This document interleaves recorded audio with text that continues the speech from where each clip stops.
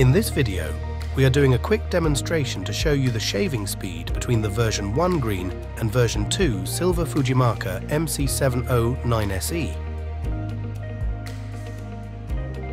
Both machines is capable of providing superior quality regardless of which one you choose. However, if you are new to the shave ice industry and has never had experience with using, maintaining and servicing block shavers, we generally recommend starting with the Fujimarca version 1 until you are familiar with how to operate and service them before upgrading to a Fujimarca version 2 block shaver. Thank you for watching. Let us know if you have any questions.